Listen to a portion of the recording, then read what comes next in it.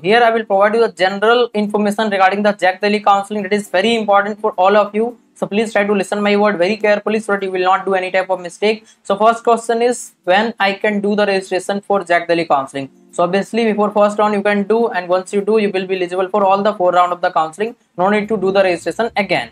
And also if you will miss now then you can do the registration before third round. That is after the second round there will be a window that i have already discussed in my previous video. That is complete schedule about the JAC Delhi counseling. You can check that also and sidewise also you can check the schedule i am providing you. So the important thing is that you will able to do the registration two time. That is first before first round itself and the second time you will get the option after second of the counseling that is before third round. So now the important thing is that a student are asking whether i need to do the choice filling again for third round or first round choice filling will be considered. So first round choice filling will be considered for first round second round third fourth all round of the counseling. If you want you can change your choices after second round. That is you will not able to change your choices after first round of the counseling process but after second round there will be a option to change your choices. That is for third round and fourth round you will able to change it. Now the next question is whether i should lock the choice or not. That is i have done the choice filling whether I should lock the choice or not. So you don't need to lock because once you lock you will not able to change it and it will automatically be locked once the time will be passed that is up to 25th.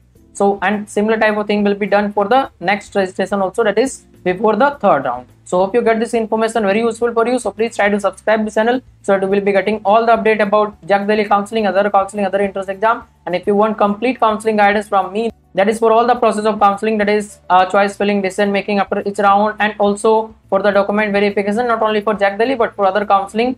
Whatever you are looking for JoSAA CSAB bates COMEDK msd ct ipu i will be guiding you completely so that you will able to join the best college by the end of this year. And, uh, and the detail for contacting me is available in the description box that is through instagram or whatsapp number you can contact me. So thanks again for watching this video. Please try to subscribe and here you can see the detail of the counseling that I will cover that is almost every counseling across India that is JoSAA, CSAB, JAC Delhi, JAC Chandigarh, MSTCT, UPTU, BITS counseling, OJE, WBJ, COMEDK, KSET, VIT Triple E, Manipal, SRM, Amrita, GoodSet and other counseling as well that is centralized, decentralized, state level counseling, all type of counseling I will cover. so, here what I will uh, focus mostly is college selection, college comparison with choice filling that is personalized choice filling discussing with you. Branch selection is also important most important feature is that 24 by 7 it is all the time you can ask your question after 10 am you can contact me any number of time for any type of doubt or discussion. Up so to first you would need to contact me then do the registration. So nominal charge will be applicable as i will be providing you the personal time so it will take lots of